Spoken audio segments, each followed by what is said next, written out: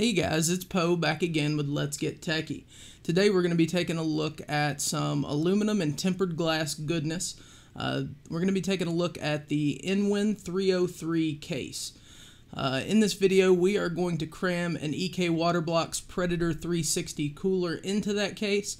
Uh, it does have native support for 360 rads, although the way EK forces you to mount their 360 in certain orientations meant that we had to modify the case. Let's go ahead and take a look at the case and I'll go over some of the features. So as previously mentioned, this is an aluminum case with a tempered glass side panel. Uh, it has a really neat quick release mechanism to remove that side panel. Uh, you're getting the majority of your intake air from the bottom.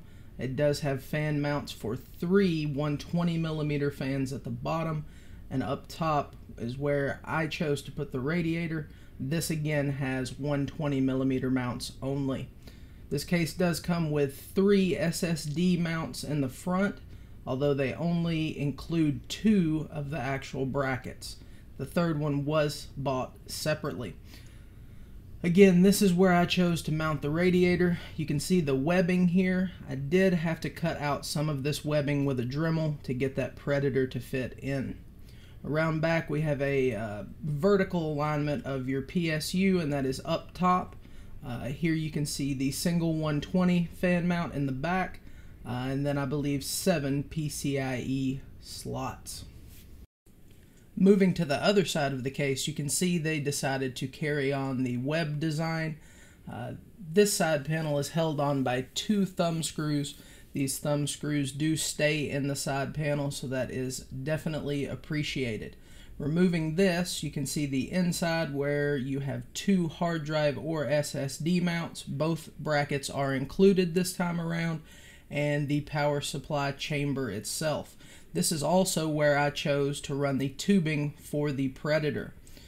Up front, you can see the latch mechanism. It is a bit stiff, but satisfying to open. And here is our Predator. So we did have to buy some fittings. Also brought some extra tubing, although it ended up not being necessary. And without further ado, let's go ahead and take a look at the build.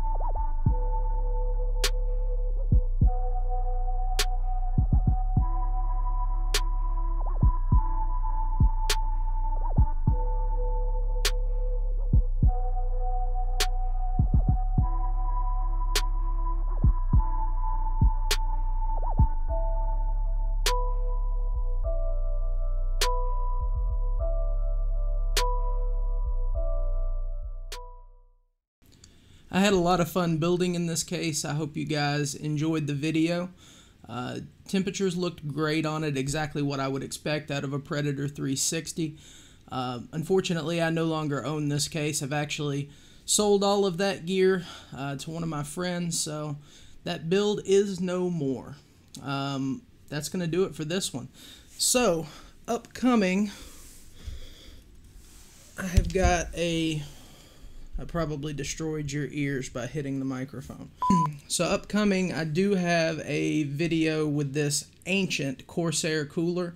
I was able to snag this cooler off of eBay for $18 shipped. Uh, works perfectly fine, included Intel mounting brackets, although I won't be using them for the project that I'm doing. Uh, make sure you get subscribed, stay tuned to the channel. Uh, this is going to be a good video, and we look forward to it. We'll see you in the next one.